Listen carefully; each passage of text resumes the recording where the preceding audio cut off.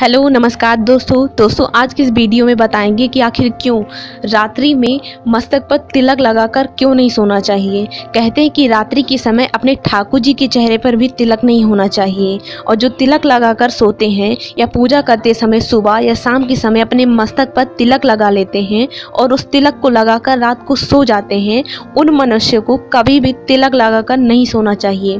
संत हो या ब्रह्मचारी, गृहस्थ हो या वानप्रस्थी उसको भी अपने माथे का तिलक साफ़ करके ही सोना चाहिए। आप सभी जानते हैं कि रात को सोते समय बुद्धि में नकारात्मक बातें आती हैं, नकारात्मक ऊर्जा आती है, स्वप्न गलत भी दिखते हैं।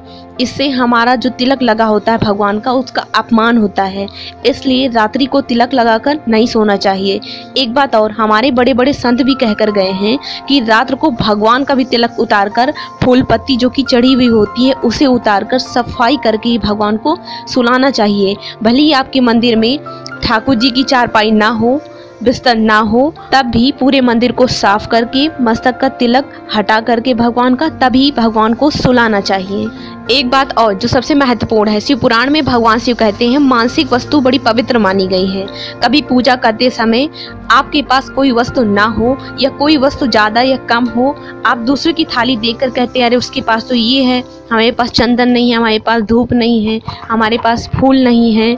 तो अब हम पूजा कैसे करें? सनातन धर्म का नियम है कि पूजा में जो सामग्री ना हो, उसे लेकर पछताना नहीं चाहिए। यदि आप पूजा करते समय आपके पास जो सामग्री नहीं है, उसे लेकर पछताते हैं और जो आपके पास सामग्री है, उसे लेकर पूजा भी करते हैं तो वो आपकी मान्य नहीं होती है।